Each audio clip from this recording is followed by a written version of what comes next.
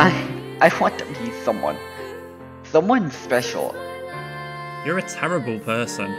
I can stand you having all kinds of things, but I certainly can't stand you playing with other girls' hearts. You have feelings for her.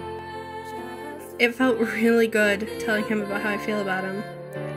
It's just that he hasn't said anything back. What if he's in love with someone else? Maybe that's why he can't say it back. Chase, can you. That is not the time to talk about this. Please, Chase. This is all I ask. The Magiclicas returns this Saturday at 12 p.m. Eastern Standard Time.